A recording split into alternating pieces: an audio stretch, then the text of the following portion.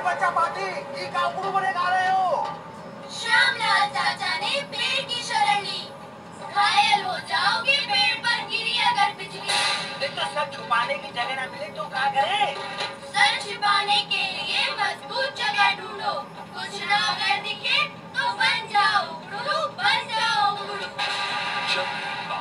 गरज सुनाई दे और आसपास कोई मज़बूत छत वाली जगह न दिखाई दे तो तुरंत कान पर हाथ रखकर और एड़ियों को जोड़कर बैठ जाएँ और ध्यान रखें, एड़ियाँ जुड़ी हुई हों। बिजली का खतरा, ऊँचे पेड़, बिजली के खंभों, तारों और पानी में ज़्यादा होता है, इसलिए इन सबसे दूर रहें, तैयारी में ही समझदारी, राष्ट्रीय